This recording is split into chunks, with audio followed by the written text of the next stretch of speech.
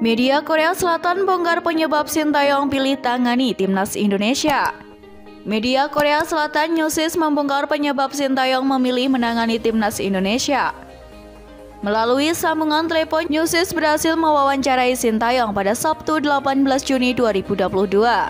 Dalam wawancara tersebut, Newsis mewawancarai banyak hal, termasuk alasan Sintayong memilih menangani timnas Indonesia. Sintayong menjabat sebagai pelatih sejak 2009. Sejak saat itu, Sintayong meraih banyak kesuksesan seperti membawa Songnam juara Liga Champion Asia 2010 dan merebut Piala FA 2011. Tak sampai di situ, Sintayong juga berkibar di level tim nasional. Ia membawa timnas Korea Selatan U23 lolos ke final Piala Asia U23 2016 dan menembus 16 besar Olimpiade Rio 2016. Kemudian di level U20, Sintayong mengantarkan timnas Korea Selatan lolos ke 16 besar. Terakhir di level senior, Sintayong membawa timnas Korea Selatan juara Piala AFF-nya Asia Timur EAFF 2017 serta mengantarkan Taeguk Warriors menumbangkan Jerman di fase grup Piala Dunia 2018. Melihat data di atas, Sintayong memiliki karir yang gemilang sebagai pelatih khususnya di dalam negeri. Setelah mendapat nasihat dari banyak orang, Sintayong mulai berpikir untuk mengambil tantangan baru. Medio November 2019, Sintayong mendapat undangan dari PSSI untuk melakukan sesi wawancara. Singkat kata, Sintayong menerima tawaran Timnas Indonesia per Desember 2019. Semenjak membesut Timnas Indonesia, Sintayong mendongkrak mental Witan Sulaiman dan kawan-kawan.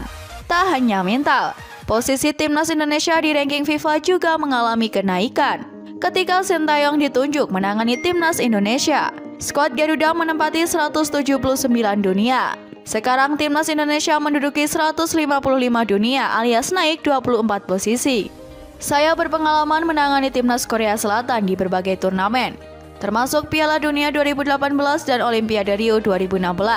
Karena itu saya ingin mengambil tantangan dengan menangani timnas Indonesia. Saya ingin menguji kemampuan yang saya miliki, kata Sintayong saat diwawancarai media asal Korea Selatan Newsis.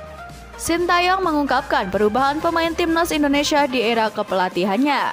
Hal itu ia ungkapkan saat wawancara dengan media Korea Selatan. Newsis setelah meloloskan timnas Indonesia ke Piala Asia 2023.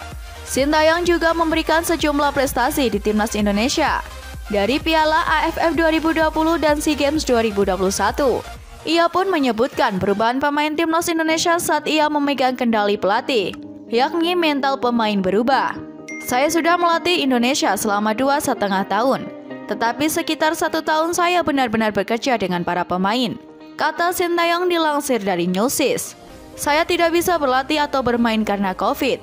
Liga juga ditangguhkan selama sekitar dua tahun. Saya mencoba mengubah bagian mental para pemain lebih dari apa pun, dan itu berubah.